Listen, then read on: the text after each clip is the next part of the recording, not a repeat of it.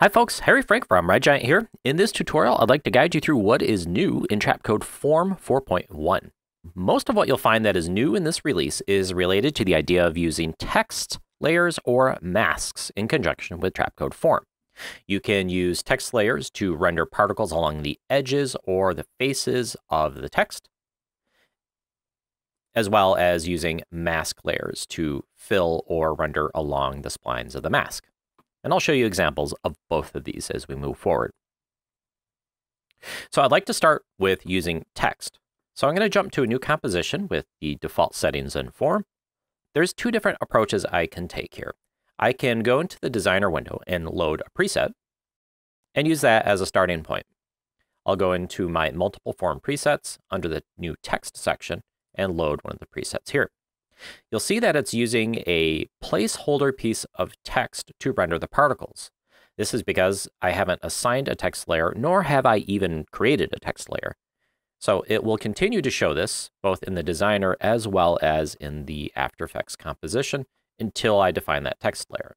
So I'll go up to my text tool and create a piece of text. And I'll also move the text below the particles just because it looks better that way. So I'll go to the form controls under the base form, text and mask settings. And in here, I'll find a parameter for the layer, and I'll define that to be the text. It snaps right to the text. And for it to do this, I want to point out all the things that are going on. First, form is actually following the transformations of the text layer itself in terms of its position, scale, and rotation, even if it is a 3D layer. So if I set this to 3D and I start rotating this in different axes, you'll see that the particles are following along using the transformations of your source text layer. Also, you notice in the base form section that the size X and Y are actually grayed out. Normally, with other base forms, we manually define the size X, Y, and Z. In the text settings, there is a checkbox to match the text size. Even though we have the position, scale, and rotation lined up, we still need to match the exact height and width of the text. And this can get kind of tricky because we can do things like adjust the overall tracking or individual kerning between the letters, and this affects the overall width and height of your text. So with this checked, this will dynamically follow the height and width of your text. Now, earlier on, I mentioned there were two different approaches to using text in Trapcode form, and I wanted to back up and talk about the other one. So the first way was loading a preset and then assigning your text from there. When you load a preset, there are a number of things set for you automatically. So I wanted to review setting this up manually so you know all the things that you need to look out for. So just to review, we go to the base form section and set the base form to a text slash mask setting. In the text mask settings, we'll define the layer to use with Trapcode form. We'll most likely want to check the match text checkbox to match the X and Y size of form to the height and width of your text layer. Now, just like other base forms, such as box grid or box strings, this defaults to three particles in Z, which is why we see three groups of particles distributed in Z space. If I want just one, I can go to particles in Z and set that to 1.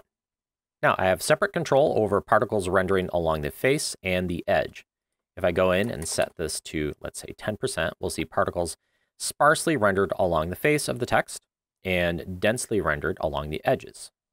Below the density controls, we have this layer RGB usage, which allows us to take the source layer and assign it to a couple different particle parameters. One is to simply take the RGB values of the source layer and assign it to the particle color. Note that when we do that, our particle color controls are grayed out. If I set this back to none, we'll be able to manually set our particle color.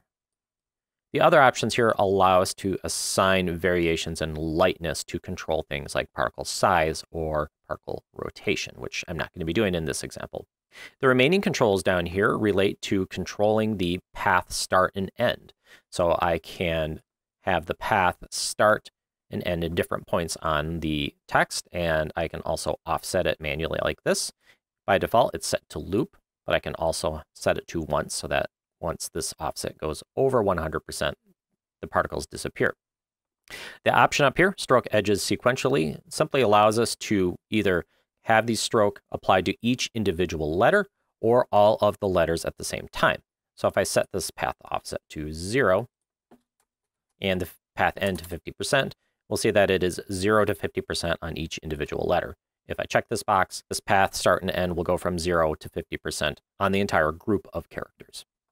There's one last thing I want to talk about with text and using form, and that is if you are specifically using more than one system, there's a little time saver that's in there that I want to make sure that you know about. So let's say I add a number of different forms. So let's say I have four different forms here, and I set these all to text and mask. In fact, I'll do a quick way of setting this. I'll just copy and paste and paste so that these are all just set to text and mask.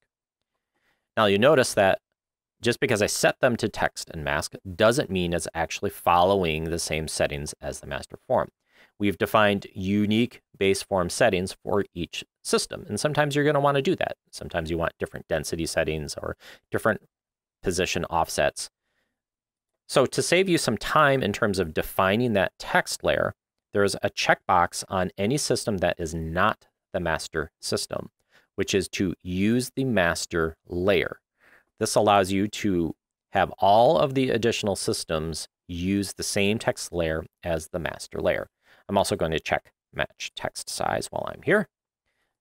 So if I have four different systems, I can simply check these boxes.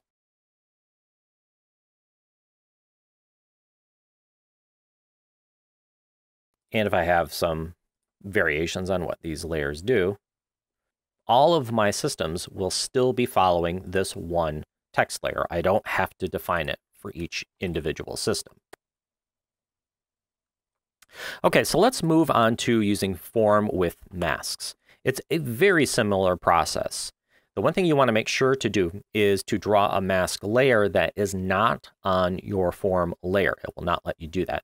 So I have a dedicated layer right here. And if I go in and I draw a shape, let's say I use the star tool, I go to form, under my base form, I'll set this to text slash mask. And in the text and mask settings, I'll define the layer that contains the mask. Now, it's going to use all of the masks on that layer. So if you want to isolate a certain mask, just make sure that it's on its own layer. I'll click on the match text and mask size, and you'll see, just like with text, we can render on the faces as well as the edges. Now, in terms of doing motion graphics, this is actually a good opportunity to take advantage of these particles in Z. In fact, I'm going to take the density faces all the way to zero and set the density edges to a very low number. Let's start with 5%. So we kind of have these scattered particles along the edge, but I'm going to turn the particles in Z up to a really high number. Let's say 600 and I set the size to 1000. Now I can get pretty creative with this because I've got particles along Z space that I can assign different maps to. I can go to the fractal field and apply displacement to all the particles and control the fractal strength over Z space and set this curve to be a linear graph like that. And if I click on this button here to flip it, it will be less fractal field at the front in Z and maximum fractal field at the end. I can also go in and do a map over Z and set this color over right here. I can use a preset or I actually like hitting the randomize button and seeing what kind of interesting things I can come up with. So it's really fun to work with. One very last feature I'd like to mention is not directly related to text and masks at all, but I'm going to use one of the presets to demonstrate this. Up until now, when you use shadowlets on your particles, and shadowlets are essentially smart drop shadows that exist in 3D space. The shadowlet's always rendered as a spherical shape behind the particle, which works out if you're using a spherical particle. But if you're using something like a custom particle, like in this case, we have these leaves, but you can see that the shadowlet that they're casting is actually just a spherical shape. And this kind of breaks the illusion of what we're trying to do. So in the shadowlet settings, we have this match particle shape. And if I check this, it's going to take on the shape of the source particle, resulting in a much more realistic look.